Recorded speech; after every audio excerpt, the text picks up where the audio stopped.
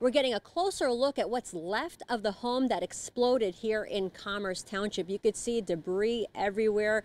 There's some smoke still smoldering out, but neighbors tell us it was a scary scene this morning. This home explosion had neighbors alarmed in the middle of the night. Fire bursting through what's left of a home on Arbutus Street. This house was engulfed in flame. The roof went up and came back down.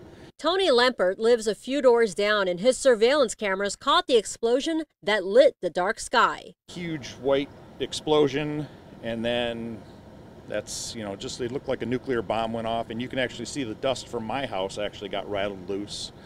So it was pretty intense. The dispatch call coming in around 12:30 in the morning. Crawford, Pittsfield, and Barncrest receiving multiple calls that the home just blew up.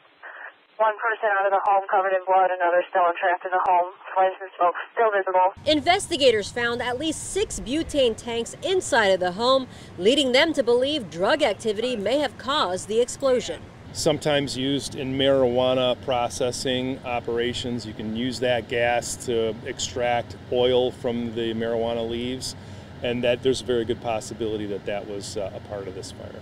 That's this house.